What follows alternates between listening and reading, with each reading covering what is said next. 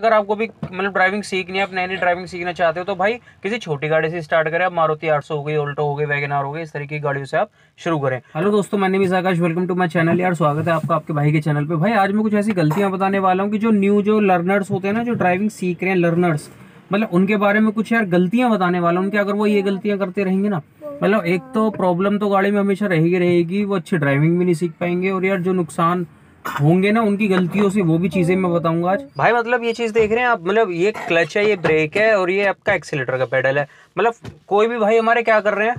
Clutch clutch दबा रखी है भाई, उन्हें गेयर शिफ्ट करना है। मतलब हाफ़ क्लच दबा रखी है गेयर शिफ्ट करना है।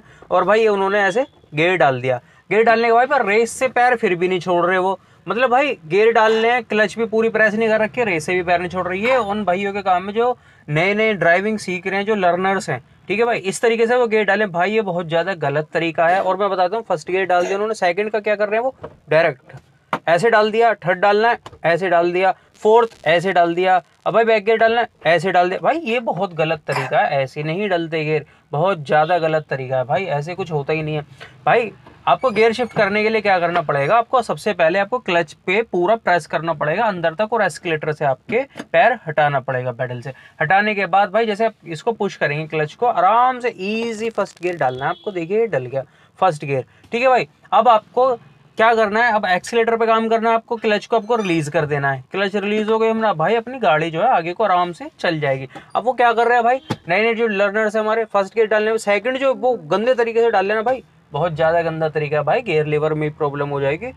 ऐसे नहीं डालते, बिल्कुल डालना ही नहीं चाहिए, बहुत ज़्यादा गंदा तरीका है। भाई, आपको सेकंड गियर में आना है, पहले आप बीच में आए न्यूट्रल करें गाड़ी को, आराम से करें। सेकंड कितने प्यार से डल जाता है यार। अगर आपको थर्ड भी डालना है, पहले यार न्यूट्रल में तो आना पड़ेगा ना आपको आराम से पुश करना है बस। मतलब जो पावर लगा रहे हैं ना आप, यार, ये सब चीज़ें नहीं करनी है। भाई, ये तो बहुत ज़्यादा गलत तरीके हैं। अब मैं आपको देखे करके दिखाता हूँ। ठीक है, सबसे पूरा प्रोसेस बता देता हूँ मैं आपको। मैंने ये क्लच अपना पूरा प्रेस किया हुआ फ़र्स्ट गियर डालना भाई। कितना इजी है।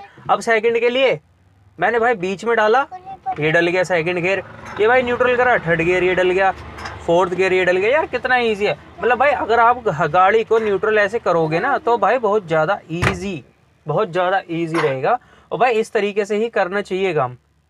तो भाई ये जो बंदे तो कर रहे हैं ना मतलब ऐसे डाल रहे हैं दूसरा ये तीसरा ये चौथा भाई गेयर बॉक्स ही टूट जाएगा भाई। और ये जो रेस वाला मैटर कर रहे हो ना आप मतलब रेस से पैर हटाते नहीं हो क्लच पूरा प्रेस नहीं कर रखा और गेयर यार आप शिफ्ट कर रहे हो ये बहुत ज़्यादा गलत तरीका। भाई ऐसे नहीं होता बहुत ज़्यादा ईजी है। आप इस चीज़ की प्रैक्टिस करें एक दो बार जो कि मैं आपको बता रहा हूँ। फ़र्स्ट गेयर डाल दिया फ़र्स्ट के बाद अपना हल्का सा इसको करेंगे ना आप। सेकेंड यार कितना ईजी है। आप भाई थर्ड गेयर डालना है थर्ड गेयर डायरेक्ट मत डालिए या आगे न्यूट्रल में गाड़ी हल्का सा पुश कर दीजिए। फोर्थ डल गया। भाई मतलब इतना ईजी है। क्या बताऊँ यार, मुझे तो सबसे ज़्यादा ईजी यही काम लगता है। इससे ज़्यादा तो कोई ईजी कुछ है ही नहीं भाई काम। फ़र्स्ट गियर फिर सेकंड डालना। भाई डायरेक्ट सेकंड में मत आओ। बीच में आप न्यूट्रल का साइन देख रहे हो। देखो गेयर लीवर पे भी ना इंडिकेशन होते हैं ये बीच में जो लाइन है, ये आपकी न्यूट्रल की है। ठीक है ना भाई? ये दिख रही होगी, ये पूरी वाली जो बीच की लाइन है, पूरी न्यूट्रल की है। फ़र्स्ट डालने के बाद सेकंड नीचे इसमें दिखा रखा है। पहले न्यूट्रल पे हल्का सा पुश कर दो। ये डाल दो यार। सेकंड डल गया। अब भाई थर्ड डाल दो, हल्का सा पुश करो। ये थर्ड डल गया। ये न्यूट्रल हो गई, फिर फोर्थ डल गया, फिर न्यूट्रल हो गई। अभी ऐसे बैक गेयर डाल दिया यार बहुत ज़्यादा ईजी है भाई। इसमें जान वान लगाने की ज़रूरत पड़ती नहीं है।